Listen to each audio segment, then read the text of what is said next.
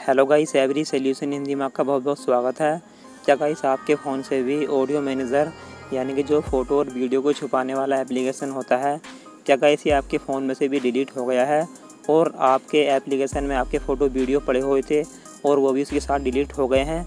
तो गाइस आज के इस वीडियो में आपको बताऊँगा, आप इस, अगर ये एप्लीकेशन आपके फ़ोन से डिलीट हो जाता है तो गाइस आप इसके फ़ोटो और वीडियो को फिर से कैसे रिकवर कर सकते हो? गाइस ये वीडियो बहुत ही इंटरेस्टिंग होने वाला है। बस इस वीडियो का पूरा एंड तक ज़रूर देखिएगा। इस वीडियो से आपको बहुत ही हेल्प मिलने वाली है। तो चलिए गाइस जल्दी से वीडियो को शुरू कर लेते हैं। तो यहाँ पर गाइस मैं आपके सामने इस एप्लीकेशन को फ़ोन से डिलीट कर देता हूँ और इसके फ़ोटो वीडियो मैं आपको रिकवर करके दिखाऊँगा। तो यहाँ से पहले तो गाइस मैं इसको डिलीट कर देता हूँ। इस तरह से आप यहाँ पर देख पा रहे होंगे। मैं ऐप इन्फो पर क्लिक करता हूँ और गाइस यहाँ से मैं इसको अनइंस्टॉल कर देता हूँ। ठीक है? यहाँ से मैंने ये किया। अनइंस्टॉल ठीक है? गाइस आप देख पा रहे होंगे, यहाँ से मैंने इस एप्लीकेशन को आपके सामने अपने फ़ोन से डिलीट कर दिया, ठीक है? अब यहाँ पर मेरे फ़ोन में ये एप्लीकेशन कहीं भी नहीं पड़ा है। अब यहाँ पर गाइस इसके डिलीट हो जाने से इसके जो फ़ोटो वीडियो हैं, वो भी सारे इसके साथ ही चले गए हैं। अब यहाँ पर गाइस आपको रिकवर करने के लिए क्या करना पड़ेगा? अब यहाँ पर गाइस आपको सबसे पहले जाना है अपने प्ले स्टोर में। और गाइस प्ले स्टोर में आने के बाद अब यहाँ पर आपको ये वाला एप्लीकेशन डाउनलोड करना है एम फ़ाइल मैनेजर तो यहाँ पर गाइस आपको अपने फ़ोन में ये वाला एप्लीकेशन डाउनलोड करना है। ठीक है, जैसे कि आप देख पा रहे होंगे। फिर इसको डाउनलोड करने के बाद गाइस यहाँ से इसको ओपन कर लेते हैं। ठीक है? और गाइस ओपन करने के बाद अब आपको क्या करना है वीडियो को ध्यान से देखते रहिएगा। अब यहाँ पर गाइस आपके सामने कुछ इस प्रकार का इंटरफेस ओपन हो जाएगा। अब यहाँ पर आपको नीचे आना है। और गाइस नीचे आने के बाद यहाँ पर आपको एग्रियन कंटिन्यू पर क्लिक करना है। फिर इसके बाद यहाँ से आपको अलाउ कर देना है। और गाइस ये एप्लीकेशन आपका ओपन हो जाएगा। तो यहाँ पर मैं इसको ओपन कर लेता हूँ। अब गाइस ये एप्लीकेशन ओपन हो जाने के बाद अब यहाँ पर आपको ऊपर थ्री लाइन पर क्लिक करना है।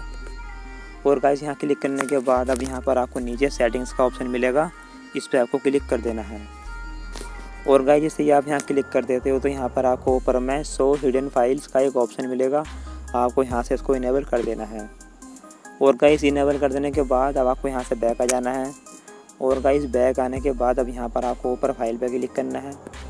और का इस फ़ाइल पर क्लिक कर देने के बाद अब यहाँ पर आपका सामने आपके फ़ोन का स्टोरेज ओपन हो जाएगा। अब यहाँ पर गाइस आपको नीचे आना इस तरह से। और गाइस नीचे आने के बाद अब यहाँ पर आपको एक फोल्डर ढूंढना है, ठीक है? यहाँ पर आपको ध्यान से गाइस आप देख पा रहे होंगे प्रोग्राम डाटा। तो गाइस आपको ये वाला फोल्डर आपको यहाँ पे फाइंड करना है, ठीक है? और गाइस फिर इसको यहाँ से ओपन करना है। और गाइस ओपन करने के बाद अब यहाँ पर आपको एंड्रॉयड वाले ऑप्शन पे क्लिक करना है। और गाइस यहाँ क्लिक करने के बाद अब यहाँ पर गाइस आपको लैंग्वेज का एक फ़ोल्डर देखने को और मिलेगा। यहाँ पर आप देख रहे होंगे, यहाँ पर आपको क्लिक करना है।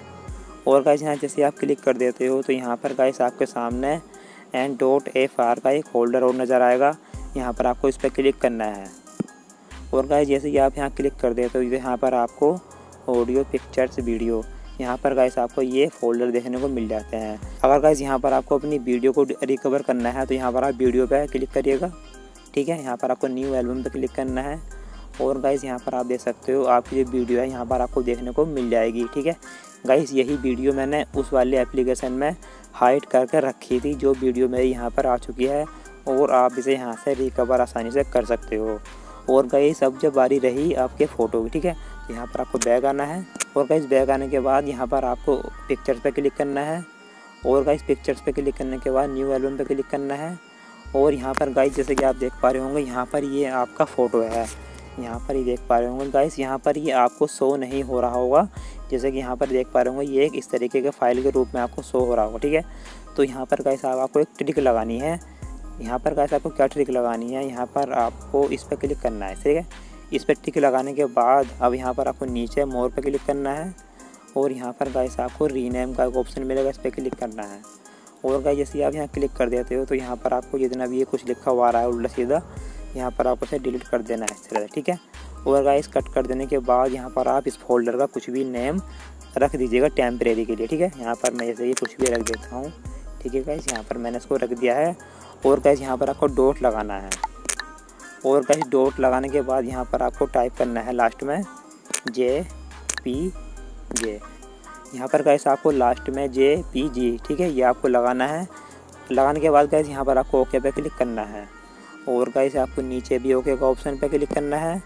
और गाइस जैसे आप ऐसा कर देते हो तो यहाँ पर आपको जो फ़ोटो है, वो आपको ओपन हो जाएगा, जैसे कि आप देख पा रहे होंगे यहाँ पर गाइस यहाँ पर मैं आपको इस पर क्लिक करके मैं इसको ओपन करके आपको दिखा देता हूँ। जैसे कि आप देख पा रहे होंगे, मैंने यही फ़ोटो अपने ऑडियो मैनेजर में हाइड करके रखा था, जो मेरा यहाँ पर रिकवर हो चुका है।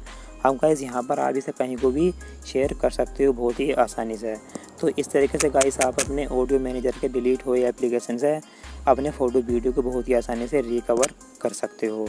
गाइस मैं उम्मीद करता हूँ आपको इस वीडियो से बहुत ही हेल्प मिला होगा। गाइस अगर आपको कोई प्रॉब्लम इशू आ रहा हो तो आप मुझे कमेंट करके ज़रूर बता सकते हो।